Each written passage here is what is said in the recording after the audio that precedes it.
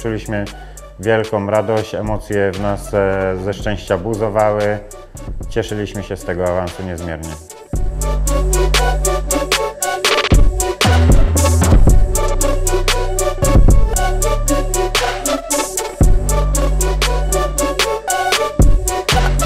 Graliśmy się wszyscy w miarę dobrze i myślę, że, że to był też główny powód, że osiągnęliśmy tak dobry wynik.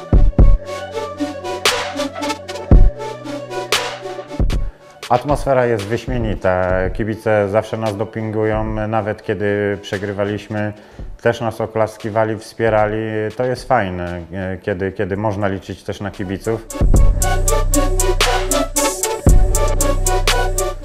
Ja będę je świętował jak 20, można powiedzieć. Czuję się cały czas młodo. E, Na całe szczęście gdzieś tam kontuzje ostatnimi czasy mnie omijają, oby tak było. Ja się nie oglądam na wiek, e, po prostu przygotowuję się, ćwiczę, trenuję, jeżdżę i czuję się tak jakbym miał 20.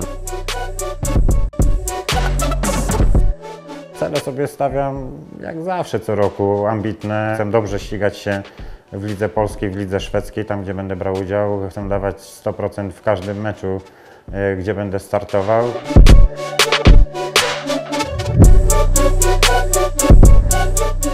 Musimy po prostu trzymać ten luz, tak jak mieliśmy w zeszłym roku w pierwszej lidze, e, nie patrząc na to, że będziemy startować w PG Ekstralidze, tak? E, Musi być ten spokój, jak prezes Górski zawsze powtarza, wiara czyni cuda.